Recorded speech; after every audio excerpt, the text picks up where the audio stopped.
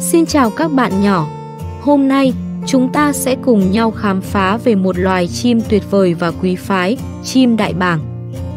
Chim đại bàng là một loài chim lớn, mạnh mẽ và thường xuất hiện trong các câu chuyện hùng tráng và huyền bí.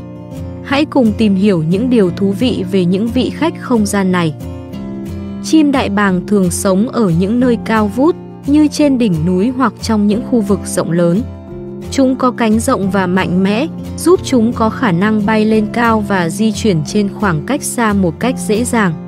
So với kích cỡ cơ thể, đôi cánh của đại bàng thực sự chứa nhiều quyền lực và thậm chí còn mạnh hơn cả cánh của một chiếc máy bay. Đại bàng có đến 7.000 chiếc lông vũ chiếm khoảng 5% khối lượng cơ thể của chúng. Điều đặc biệt về chim đại bàng là mắt to của chúng có một triệu tế bào nhạy sáng trên mỗi mm võng mạc, nhiều hơn gấp 5 lần con người. Trong khi con người chỉ nhìn thấy 3 màu cơ bản thì đại bàng có thể nhìn thấy 5 màu. Điều này khiến chúng có tầm nhìn rất tốt và sắc bén giúp chúng nhận diện con mồi từ rất xa.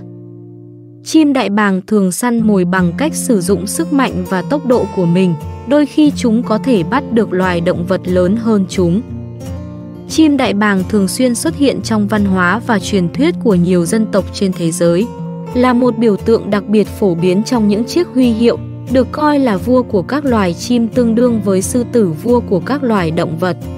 Trong một số văn hóa, chúng thậm chí được xem như biểu tượng của sức mạnh, sự tự do và tầm nhìn sáng rõ. Chim đại bàng cũng rất giỏi xây dựng tổ. Chúng thường chọn những đỉnh núi cao hoặc cây cổ thụ để xây tổ, tạo nên một nơi an toàn để nuôi dạy con non. Chim đại bàng là bậc thầy trong việc bảo vệ lãnh thổ của mình và giữ cho môi trường xung quanh sạch sẽ. Giống như loài ngựa, đại bàng có thể ngủ trong khi đứng.